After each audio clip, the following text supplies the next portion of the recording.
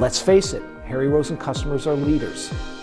They're the leaders of society and of business, and each one of them has a personal brand, a way of dressing, and a unique manner and style that instills confidence in others.